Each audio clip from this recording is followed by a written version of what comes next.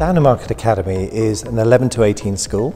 It has approximately 1,200 students, about 200 in the sixth form. We have some very academic students and we have some students who prefer more hands-on approach. So that's reflected in our curriculum. It's a lot more interactive, I think, because you do a lot of activities that are in groups. It's not like other lessons, it's quite relaxed, it's really fun. We offer a range of Cambridge Nationals alongside GCSE subjects. And I think they're, they're, they're really important for developing that sort of um, autonomy and that um, independent learning. GCSEs don't. It's a lot of coursework, but if you like want to do it and dedicated to it, it's easy to get done. I really like the fact that it's 75% coursework and you get to choose two options. So I always pick creative activities and body systems. Again, there's a lot of practical in both of them. Their website is quite easy to navigate, got everything on there. Um, resources, you've got tracking. We obviously need to keep track of the students where they are, what marks they're on. On the OCR website is all of those already set up for us. So when we start to put in the marks, they will automatically total them for us.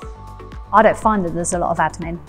You can kind of get on and teach. You've got your sheet to mark and then it's got to be internally moderated, but you haven't got um, all of this paperwork to complete and to send off. I just feel supported all the way, that you're always kind of looked, looked for the best in the students. So we have a really good relationship with Nelson Academy, um, which is a local primary school where we go down and we'll help out Personally, I enjoyed the creative activities unit as we got to go down to um, a primary school and do creative activities with different children and it was just really fun seeing how they interact with us.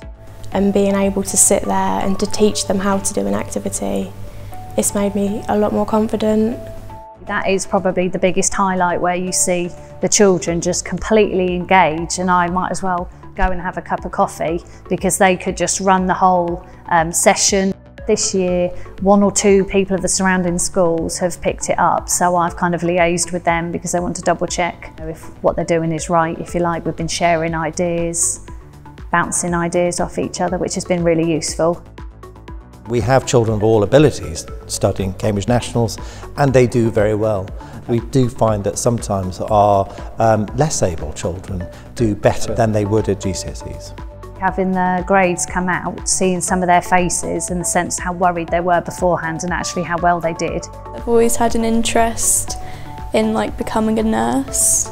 I picked health and social care because I would like to be a primary school teacher when I grow up. I chose to study health and social care because I was really interested in like nursing and early years so it fitted that perfectly basically.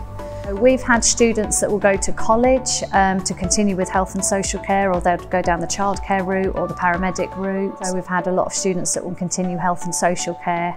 They'll pick up Cambridge Technicals and from then on we've had students go to university, they become midwives, psychologists. From starting in year, year 10 and year 11 to kind of what they're doing now blows, blows me away really.